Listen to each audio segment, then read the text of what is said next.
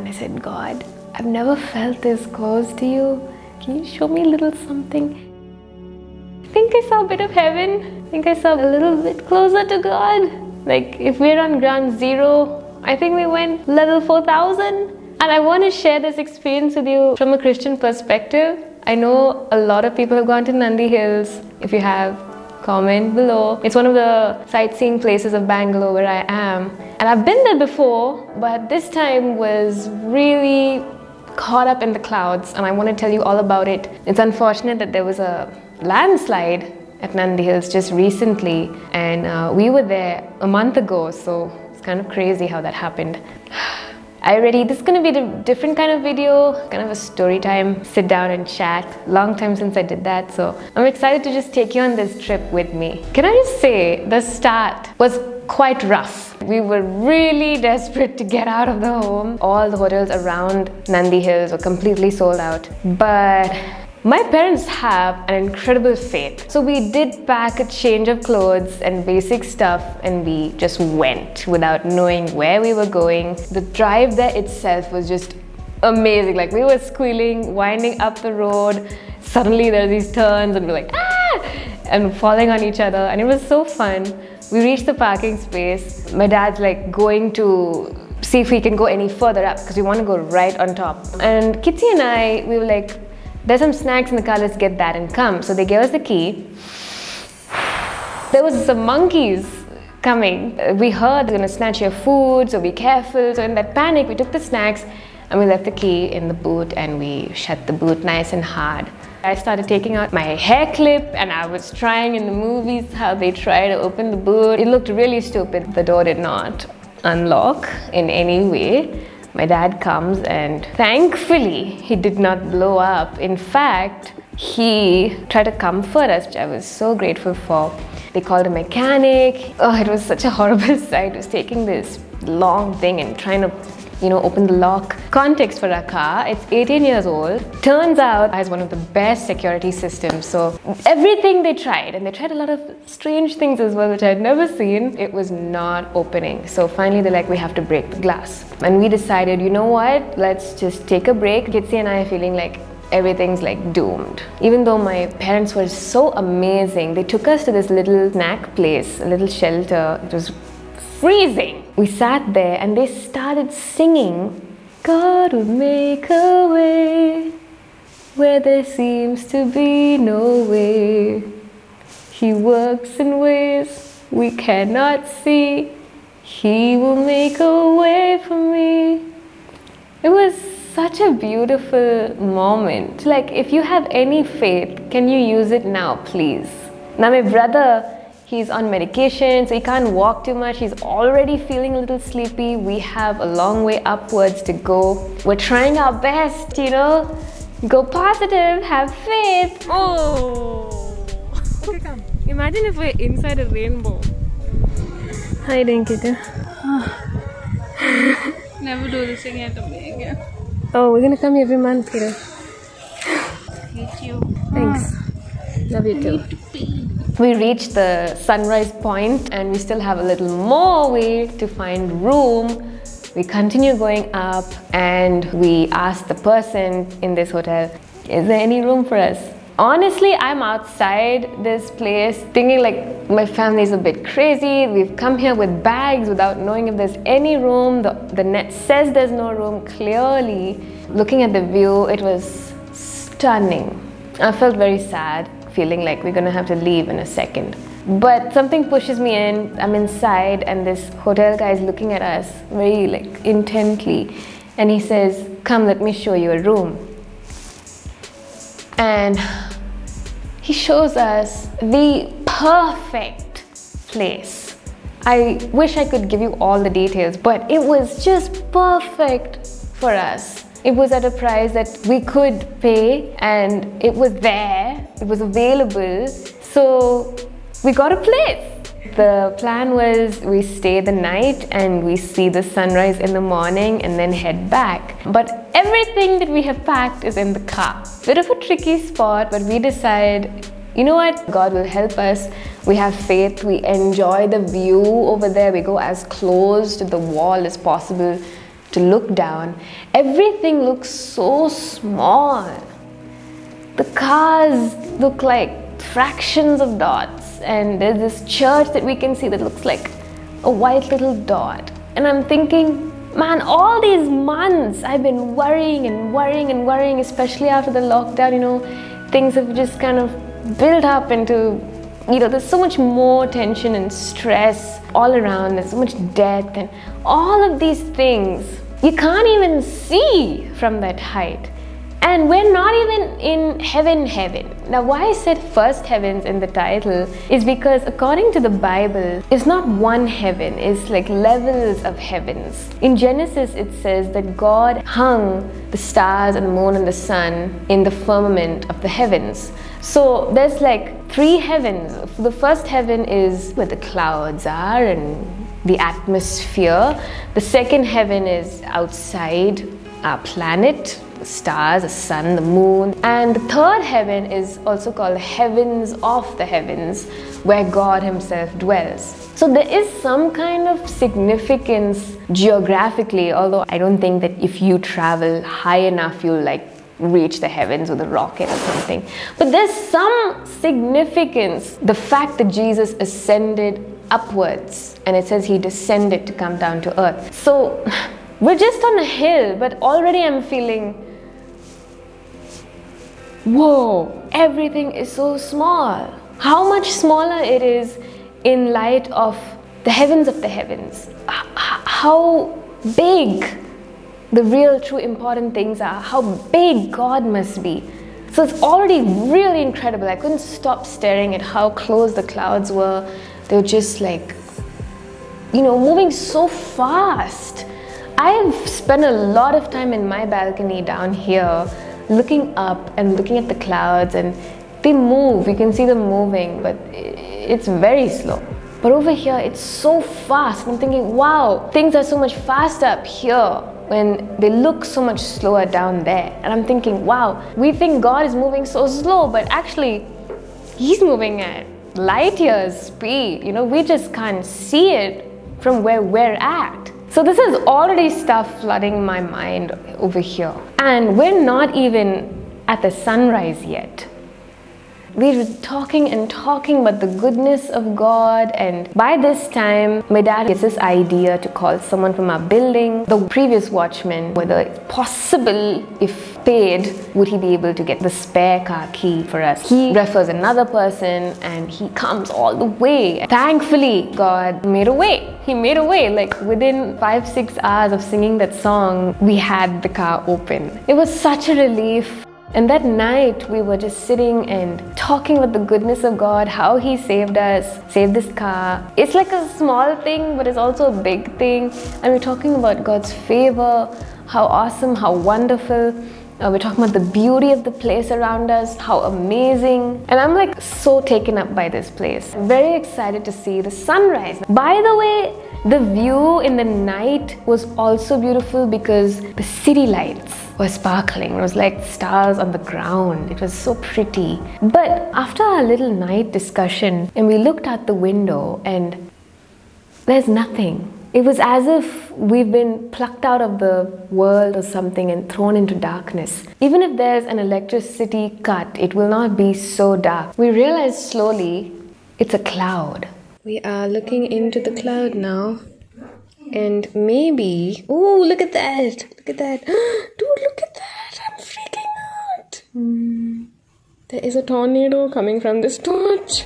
It was incredible. It was really scary, terrifying, and incredible at the same time. We go to bed, take a bit of time to sleep because we're so excited. And when we get up, I wanted to catch sunrise. And unfortunately, by the time I went out, like four minutes late, the sun was already up in the sky, which was a little bit disappointing. But my friends, when I looked around the sky, oh my gosh, it was the most incredible sight that I have ever seen in my life. Everything that we saw the previous day that was uh, just above us, it had all come down and was even below us one of the first sights that I saw was this huge big cloud, far enough to see the mass of it, but close enough to feel like you're right on par with it. The sun is all golden, the clouds around the sun are like golden. I look this side and there's big clouds rolling, rolling by right on top of our heads and we're in the middle of it as well we just don't know it and look um, i look on this side and there's like seas upon seas of clouds just going like this and jumping over the hills and going and jumping over and like deer jumping over stuff. And i am shook. I am absolutely like gobsmacked. And I peer into the distance and there's this bunch of golden clouds right uh, right near the sun. I felt like if I looked hard enough, I would see heaven somehow. I felt like I did, like where God lives. I mean, I just peered very hard and I said, God, I've never felt this close to you. And can you show me something like you showed john you showed you know different different kinds of people can you show me a little something and there's something in me that's like recognizes my eternal home there's some kind of a familiarity that, that came from reading from the revelations the city of gold and the streets of gold and it was such a golden little spot far far away i was like half crying the whole time, just staring at everything, trying to take a video. The actual sight was, I felt like suddenly in the midst of so much power, so much glory, so much majesty. I mean, I didn't really see like the throne or anything, but the fear of God descended on me. I thought I feared God, but looking at this majesty of His creation, I was just terrified of its maker. Like, if He made all of these big, big mountains, by the way, we could see so many mountains across the landscape like, I don't know, hundreds and thousands of hills and millions of clouds. This horizon that went for miles and miles and miles and miles to where the eye could not see. I just began to think of who was behind all of this. And the more I thought of it, the more I thought of how he's been talking to me and I've been talking to him through Jesus Christ. I got scared. I can't Thought you got translated. she said, you can't see anything. I've begun to take God a lot more seriously, to obey Him quicker, do everything that He's been asking. There were times like I kind of reason out with Him, like I can't do a certain thing, but now I'm like, do not disobey this God. Like, if He has all of this under His control, I am like so much tinier, and He has so much more power over me. And I know it's just a fraction of what the real picture is, but the fear of God just struck me. And at the same time, it's not pushing me away from God, it's drawing me a lot closer. Our relationship has just grown so much deeper because I've understood, oh God, like, oh wow, yes, you who made the heavens and the earth. I felt like God was right there, you know, like almost tangibly, almost. And the more I felt that, the more I was like longing to just be sucked up into the heavens, into the heavens of the heavens. And I'm praying I'm like, God, I know we just came here for one day. I cannot imagine going down. I can't. I mean, I've spent all my life looking down, looking at plants on the ground. Slowly, I started looking up. I started looking at the stars, I started seeing the clouds. I've looked and looked and looked for so long. Now I feel like I'm here. And I can't now go back down. That's how bad it became for me. I'm almost fighting with God at this point. Like, you can't show me this much beauty and glory and then expect me to go back down to normal life, to my home, which is very beautiful, which is surrounded by beautiful nature. But at this moment, I'm like, the ground? And I'm seriously having this corner with God, and He's telling me, you know, all, all, He's giving me lectures like, I have work for you to do. You need to go and tell people about me. If you felt me so much closer now, you need to tell people about it. You need to tell people about the reality of heaven and hell. And you need to tell them that there is more than this little tiny, tiny life that you looked upon earlier. But man, I'm, I was staring at those clouds for hours. I didn't brush my teeth. I didn't drink water. Those are things I do like immediately by default. I didn't do any of those things. I didn't care about eating or drinking. I'm just staring at these clouds for hours. I just felt so high. I felt so high. I felt so close to God. Like as if He answered my prayers in part, you know? I'm like, I want to see you. I want to be with you forever. I feel like He answered all of that to some extent and I just couldn't have enough of it. And my whole family was in, in awe of everything. All of us are nature freaks. It was amazing for all of us. We all were stunned at the glory and the goodness of God. And finally it was time to go. I felt so sad. I felt like like depressed. Like I, I, have, I was having a crisis and I was trying to like, I can't leave. I don't know how I'm gonna live after this. Like seriously. Oh, we went and we're all feeling that kind of like sadness as we go down.